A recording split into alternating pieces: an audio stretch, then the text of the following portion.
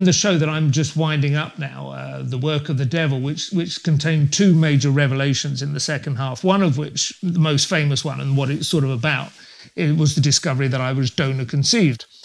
And um, I learned through a DNA test that I was actually conceived in a clinic in central London run by a woman called Mary Barton and her husband Bertold Wiesner. And the husband, Bertold Wiesner, was, it turns out, supplying the vast majority of the sperm that was getting women pregnant over the course of about 22 years. This has become, there are other cases of this coming out. There's been one come out this week, in fact. Um, but uh, at the time and for several years, this was a standalone. He's thought to have fathered somewhere between 600 and 1,000 children. So I have all these half siblings.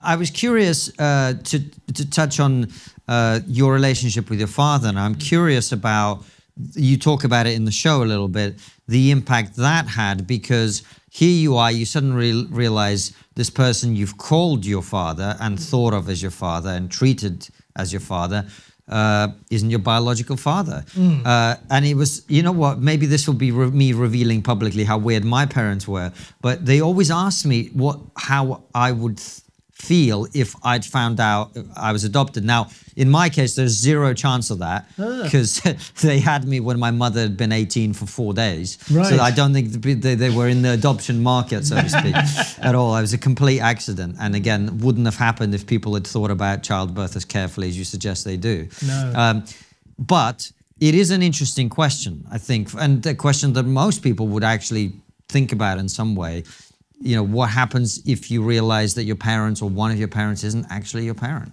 Yeah, it's interesting that your parents would ask you that. I mean, mine obviously steered me away. from that. I imagine frequently, so. you know. I mean, I remember you. I did used to think when I was. I remember very specifically having these thoughts. I think maybe eight or nine, but I can picture myself in bed thinking, I just don't think he's my dad and yet I cannot imagine a scenario that would that would explain that because I knew I wasn't adopted because my mother had gone into a lot of detail about exactly how painful and touch and go labour had been. You know, I was in I think an incubator for a couple of days, and she was desperately like sad that she wasn't allowed to hold me and cuddle me, and she talks about that quite often, and we get misty eyed talking about it. You know, and I was you wouldn't make that up, you know, just to kind of give plausible. and so I knew she wouldn't have had an affair. I mean, there was like zero chance of that or anything weird like that. And obviously, it never occurred to me that, that such a transgressive scenario as uh, as artificial insemination would have been used. Well, why did you think that your dad is not your dad? Is it just because you're so good different? Good question. It's a really good question. I think at, at that age, I can't have been thinking it logically, so I think it must have been visceral. And I think what it might have been, I, I sometimes think it might have been um, like pheromones or something like that. He used to be quite affectionate. I would sit on his lap sometimes when I was little and watch TV, you know, and I would I was very fond of him, and he was a you know lovely big bear to hug. But I kind of felt differently about his smell and being you know, than I did about my mother's, you know, with whom I would kind of absolutely, you know, um, nestle up to like a, like a pup in a basket, you know. Whereas with him, it was more like an uncle.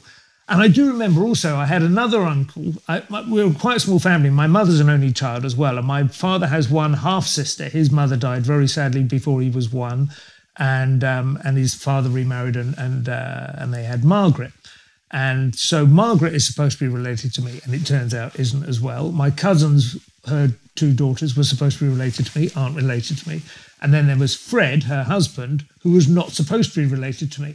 And I always instinctively felt a really strong bond with Fred because I because I think I am mapping this out now, but I think it was because I didn't sense that I that there was something I was supposed to feel or sense that I wasn't getting.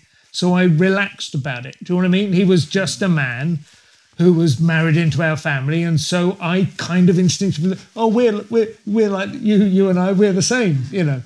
But where that came from, I mean, I just don't know. Um, and I don't want any of this to. I mean, my dad was really a great dad. You know, he was uh, a totally uh, like a mensch. yeah, but you know, it was weird. I know my um, my one of my best friends, Danny uh, Solomon, who um, I was at university with, and his dad.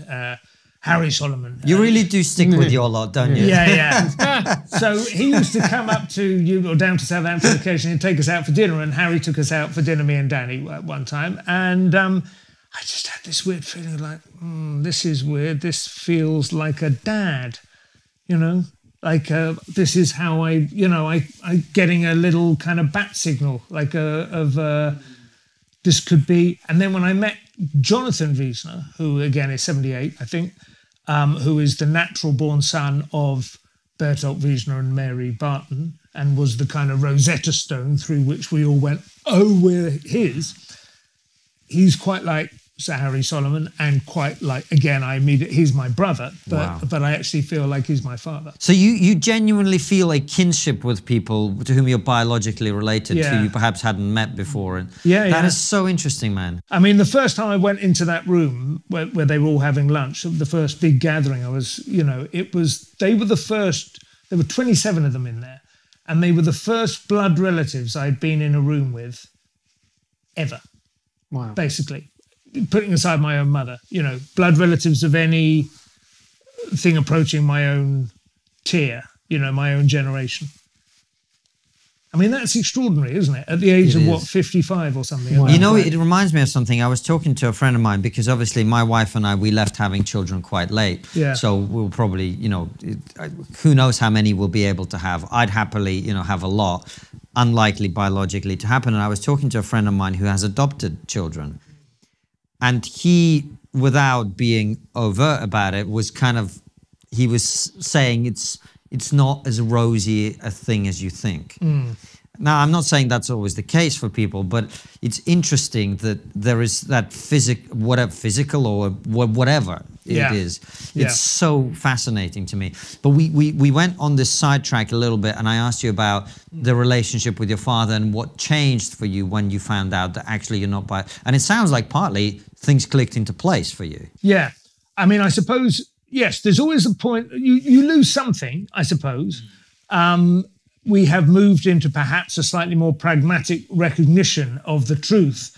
And I know he felt hugely relieved when um, I went up and told my parents, you know, and some people said you shouldn't do that because it, it might be of a shock to them. They might have managed to suppress that information apparently there were some fathers who uh, you, you always attended the, the clinic together, but there were some of them that were told that their sperm would be mingled with the donor sperm and it might just encourage it forward, give it the forward propulsion. When it got there, it might be their sperm that got the woman pregnant. You know, so there might be all kinds of things that they've allowed themselves to believe. But um, when I told them, there was huge relief, definitely, and um, and I think he had always just felt, you know, that um, it was a fairly trivial thing, you know. And I certainly don't want to like kind of like shake him by the lapels and go, no, it's not trivial, you know. This is this is life itself, you know. Yeah. But my view has to be that you know I have to recognise the truth of it, and there is a powerful bond there. But that is absolutely, of course, not to say the thing. You, I think the kind of the core philosophical conundrum that you get to through recognising it and pondering on it is there is no alternative. It's not like I could have been this or I could have. I would not exist.